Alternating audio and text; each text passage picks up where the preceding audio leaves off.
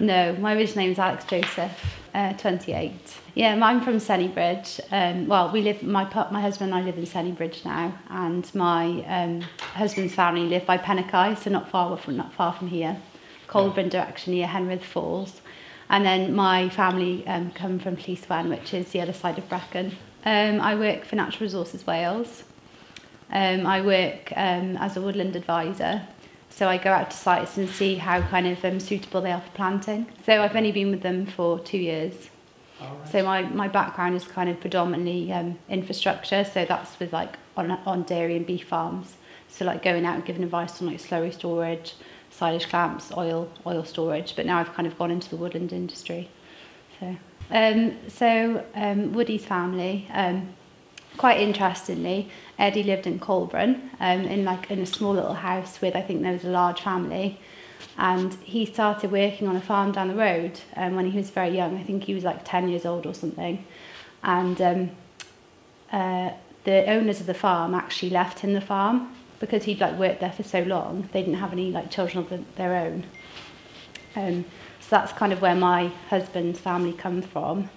Um, so Eddie kind of ran the farm then with his wife Shirley um, up until he died um, probably about four years ago.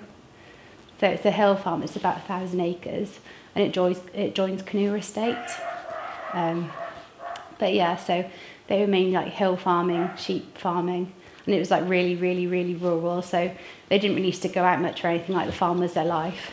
And when they first moved there, they didn't have electric or water or anything like that. So they had to get all of that um, sorted. No, I wasn't born there, but my um, my partner, his father was born there.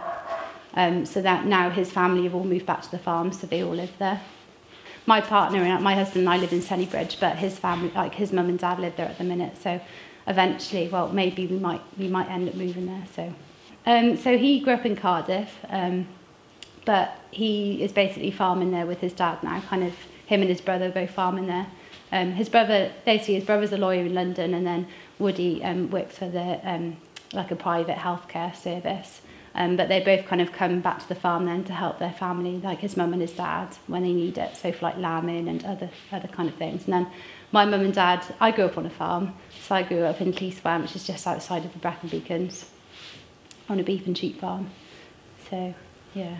Yeah, lambing, um, just like every, everything farming growing up really. It was a really good life life to have. You just kind of get out and get out in the you know on the farm and um, there's no technology then, so like no mobiles when we were younger. So all of our entertainment was like playing in the stream, you know, making a swing, out with the sheep, out with the dogs. You know, it's all really I nice life to have. Young farmers. Yeah. Yes, I was in Young Farmers from when I was 12 until I was 20, yeah, 26. But it was a good time.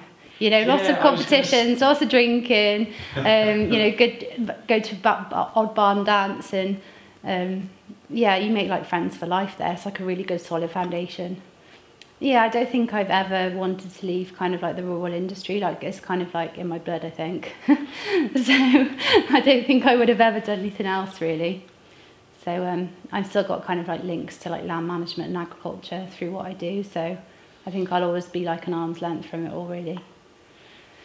Um, yeah, so um, yeah, with the farming background, um, Eddie, Eddie and Shirley were on the farm, and um, they were mainly like hill farming, so it's quite like hard, can be quite harsh conditions. Um, so yeah, just kind of breeding, breeding, uh, you know, lambs for for the commercial trade really. Yeah, hill farming, just like rough terrain, so it's not like an easy, an easy kind of um, farming life, I would say, because you know it's it's very up and down and and um, high up and exposed. So like you be exposed to like adverse weather conditions and quite some of the land's quite inaccessible. So um, yeah, you can uh, try and uh, check the sheep like on a regular basis, but like there's always areas you won't be able to get to, you know. Yeah.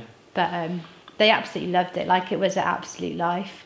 They just absolutely love farming and Yeah. um, you know, it's not an easy way of life. It is. It, it has to be. You have to love farming to do it. Like not everyone would be able to sustain it, especially in like really harsh conditions. What's your um, attitude to people like Tesco and Morrison's and Yeah, I think that um, so many of the prices are dictated by the big supermarkets. And I think it is, you know, that is really, really hard for farmers. Like they haven't got enough control over their products and what happens to them really. Um, so I think the more that people can support local and, uh, you know, buy locally, I think it just speaks volumes really. I think it's just so beneficial to the local community. You know? yeah, Yeah. So.